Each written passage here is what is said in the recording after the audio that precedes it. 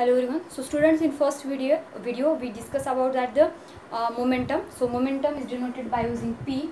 P is equal to it is the product of mass and velocity. So the unit of momentum is kilogram meter per second. So uh, you can write like this way also.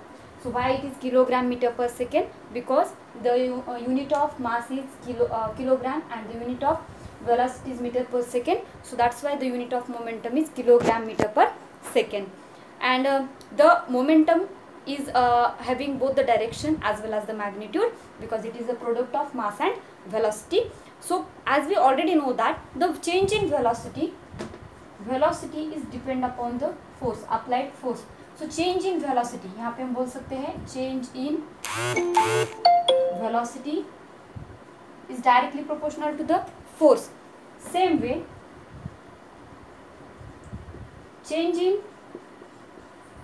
velocity is directly proportional to the momentum change in velocity is directly proportional to the momentum so it is change in velocity is directly proportional with the momentum so ये दोनों भी concept same है so we can write here force is directly proportional to the momentum. Force is directly proportional to the momentum. क्योंकि already हमारी जो velocity है, वो velocity force से भी डायरेक्टली प्रोपोर्शनल है चेंज इन वेलोसिटी मोमेंटम से भी डायरेक्टली प्रोपोर्शनल है so the change in velocity is directly proportional to the force so here we can state that the second law of motion that is none other the rate of change of momentum rate of change of momentum is directly proportional to the applied force in the direction of the force. The rate of change of momentum is directly proportional to the applied force, unbalanced applied force in the direction of the force only. Clear? So here we are having one formula that is यहाँ पे हम आ, आगे का formula भी derive कर सकते हैं so let's discuss about that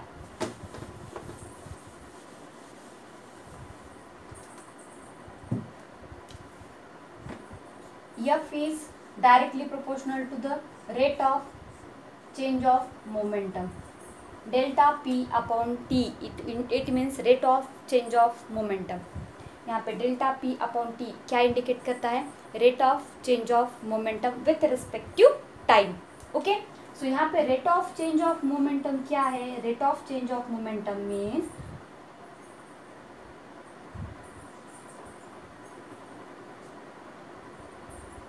initial velocity sorry initial momentum minus sorry final momentum minus initial momentum so it is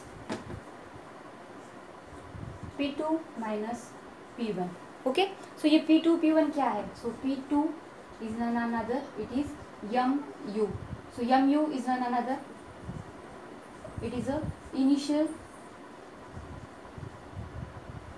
momentum okay and p1 mv it is final momentum. I think you got my concept now. Now here.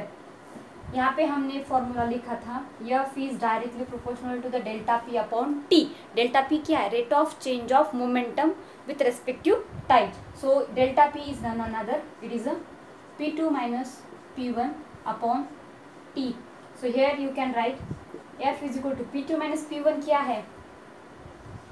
M v minus m u upon T now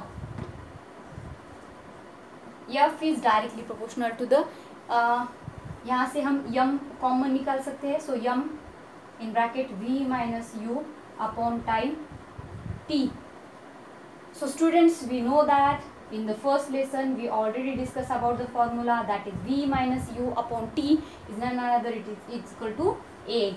So f is directly proportional to m a. F is directly proportional to the mass into acceleration. If you want to remove the proportionality sign so that time f is equal to k m a.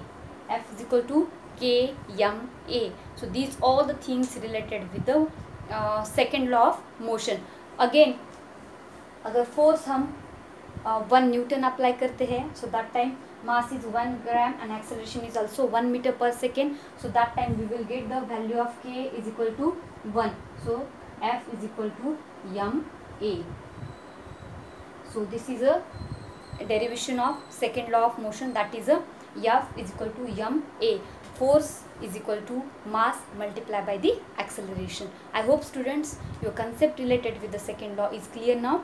So in next period we will discuss about the third law of motion. Still you are having any doubt so you can ask me. Uh, you just send me the message and the result of your uh, test i will announce um, personally. One by one i will check the papers and i will announce the result. For today thank you very much students. Very soon we will meet